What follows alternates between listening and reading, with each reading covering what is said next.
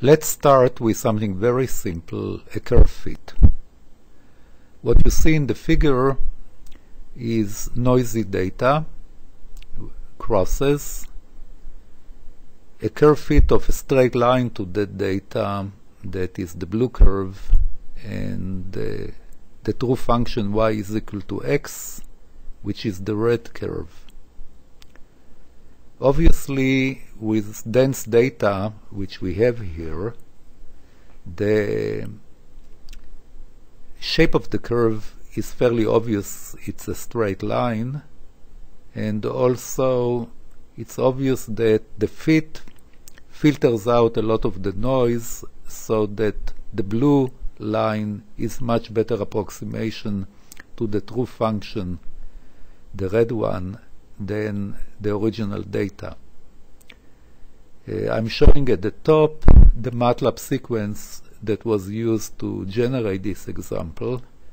The noise is generated from the normal distribution using rand n and uh, I'm showing here also what happens when we add the noise to the function y is equal to x and you can see that there is substantial error at uh, x equal to 1 we get 3.9 instead of 1 uh, I'm showing here the first 8 numbers and the last 4 so at the end instead of getting 29 and 30 we get 27 and 30.96.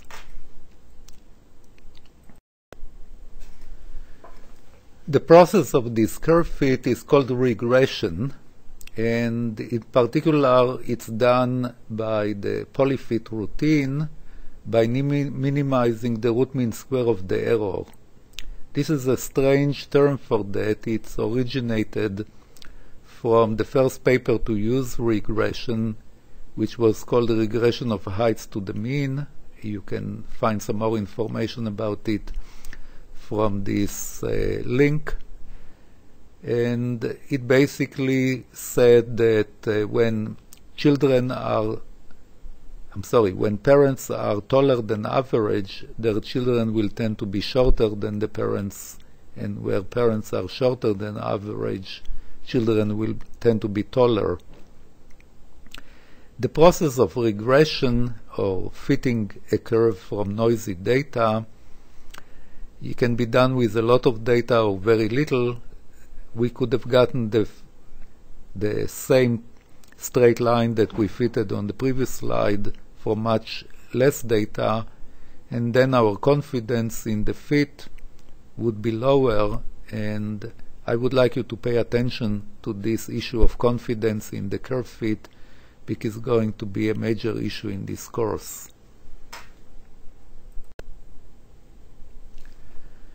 We call the curve that we fit a surrogate or an approximation and its use originated from experimental optimization where measurements are very noisy. In particular, it was used by extension stations like the one that we have at the University of Florida to maximize crop yields by changing inputs such as water and fertilizer. You basically take a field and divide it into subplots and on each one you vary the inputs and then you wait several months to see what the crop will be. With a lot of data you can use the curve fit as we saw in the example to filter out the noise but a lot of time you cannot afford to do that when you are able to do that then the approximation can be more accurate than the data and therefore it may not be a good idea to call it approximation uh, and so the term surrogate captures the purpose of the fit, it's more neutral. Uh, you use it instead of the data because the data may be expensive. You may have to wait if you are a farmer trying to optimize the yield. Uh, each data point may require waiting several months.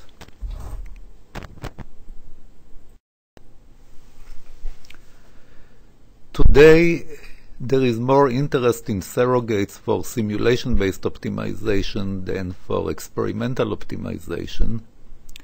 And computer simulations also have noise, uh, mostly numerical noise, for example, due to discretization, but this noise is hidden from the user in that uh, the simulations are repeatable. Uh, you run the simulation again, you get the same results, while when you run an experiment again, you will get different results. However, there are uh, simulations that you conduct uh, with very little error, and then they can view as exact. And so we have surrogates such as polynomial response surfaces that cater mostly to noisy data, and some that we will also study in this course, such as Kriging, that cater mostly to exact data. So let's start with polynomial response surface approximations, like the one that I used in the example at the beginning uh, that was done by Polyfit. The key assumption is that uh, the data is contaminated with normally distributed error of zero mean and standard deviation sigma, and that sigma is the same for every data point. So basically the assumption correspond to the way I generated the data for this example. Uh, further, we assume that the response surface approximation has no bias error. Uh, that is, we know exactly what's the shape of the function, like we knew in the case of polyfit, that we are fitting a function which is exactly a linear polynomial. In that case, as we have more points than polynomial coefficients, we filter out some of the noise. In particular, in my example, we had two polynomial coefficients that we needed to estimate from 30 data points. And therefore, as I keep repeating, the approximation is more accurate than the data.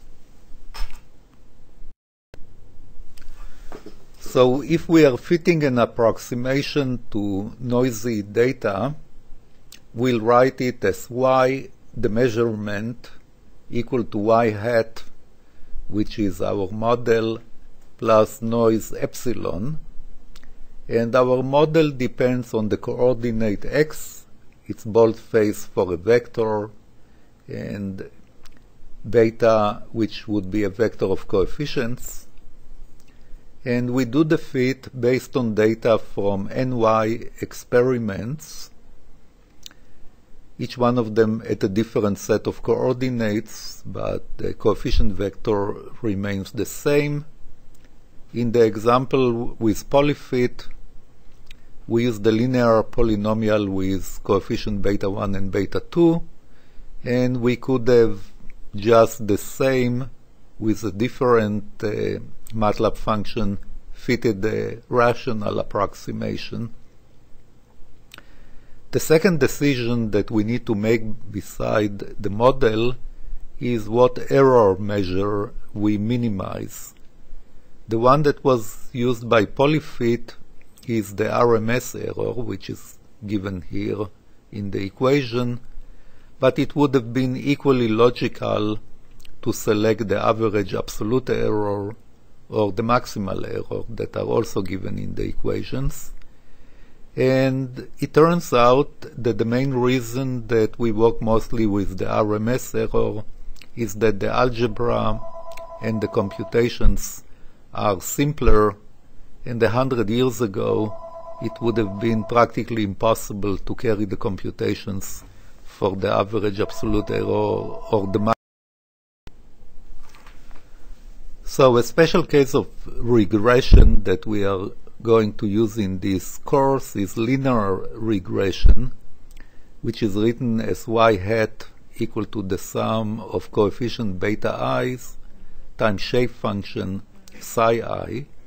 it doesn't mean that uh, the shape functions are linear, only that uh, the model y hat is depends linearly on the coefficient betas.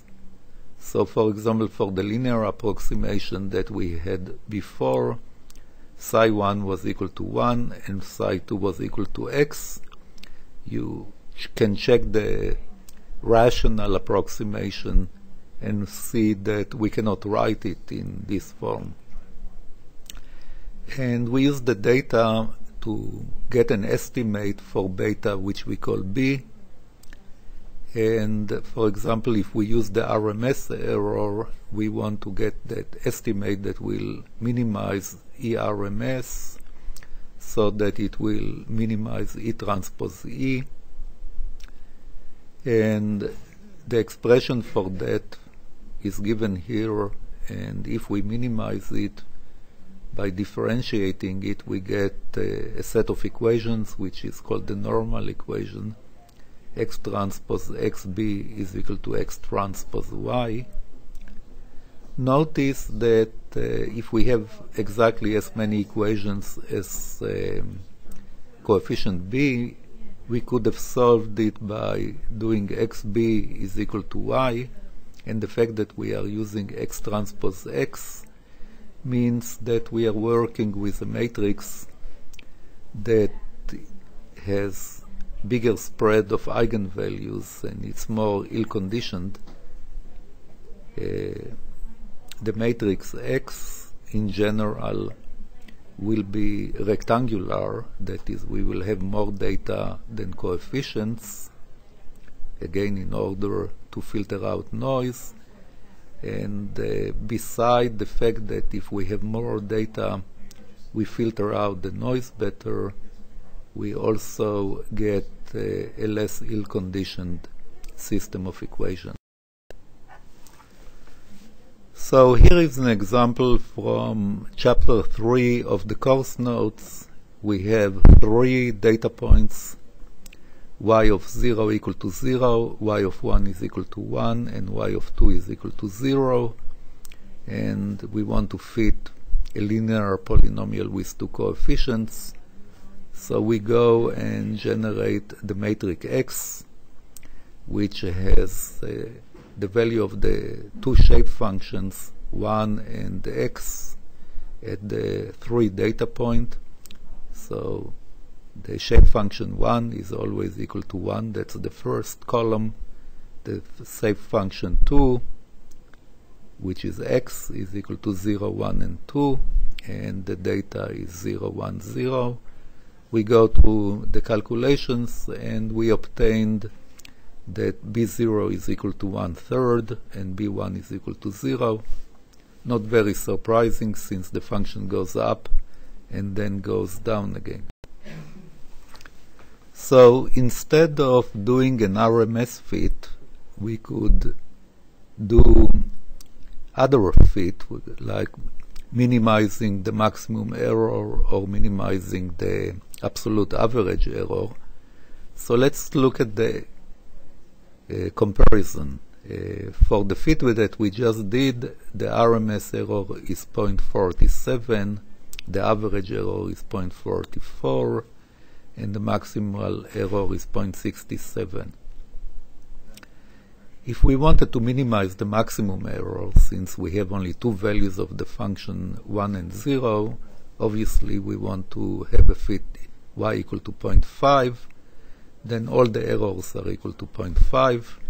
What we have done here is reduce the maximum error quite a bit from 0.67 to 0.5 and paid by increasing the RMS error a little bit and the average absolute error a little bit. If we want to minimize the average absolute error, then since we have two points at zero, the solution is y equal to zero, and then the average error is one third, the maximal error is one, and the RMS error is 0.577. So the one thing which is satisfied that I expect you to always uh, check is that each fit gets a better value for its own error measure than the other fit. The regression fit, which minimizes the RMS, has the lowest RMS error. The second one has the lowest maximal er error, and the last one has the lowest average error. And uh, the question that I pose to you is what would have been a more logical order to have those three?